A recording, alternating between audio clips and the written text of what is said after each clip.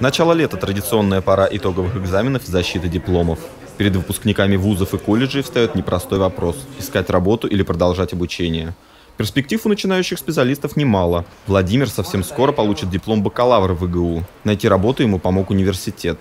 Молодой человек планирует продолжать обучение в магистратуре, но уже заочно, а параллельно работать в Ярославле в территориальной генерирующей компании. Работу я нашел как раз благодаря Центру распределения трудоустройства молодых специалистов, то есть структуры как раз у нас, которая существует на базе вуза. Вот, и вне распределения нашел, соответственно, представителя отдела кадров данной компании, отправил свое резюме и после того, как прошел два собеседования, был трудоустроен туда. Иван в этом году тоже заканчивает энергоуниверситет. За время обучения в магистратуре он уже успел поработать по специальности. После защиты диплома выпускник собирается в Рязань, где ему предложили работу. Меня уже берут на работу в Рязанскую нефтеперерабатывающую компанию, которая входит в концерн «Роснефть».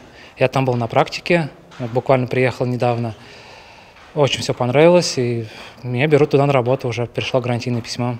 Выпускники ИГУ без работы точно не останутся. Спрос на квалифицированных сотрудников в области энергетики велик. География вакансий охватывает всю Россию. В апреле у нас проходит уже окончательное распределение, весенняя ярмарка вакансий, где студенты уже договариваются, заключают контракты с работодателями.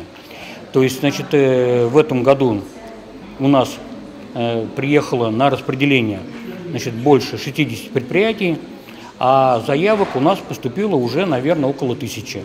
В этом году колледж легкой промышленности выпускает 105 специалистов. Чуть менее половины из них освоили швейное мастерство. Если подавляющее число выпускников ИГУ покидают Иваново, то студенты колледжа планируют остаться в регионе. Фактически наши выпускники из региона не уезжают. Они возвращаются либо в свое муниципальное образование, откуда они приехали обучаться в наш колледж. В основном все студенты, которые прошли период производственной практики на предприятиях Иванской области, закрепляются за этими предприятиями. Оттока кадров из области нет, хотя в этом году в колледж поступают заявки из Новосибирска, из Подмосковья, из Ленинградской области. Помимо швей, колледж готовит конструкторов и технологов швейных изделий. Евгения планирует уехать в Тейково и работать на хлопчатобумажном комбинате. Научились э, шить, расписывать ткани. Я потому что художник-технолог.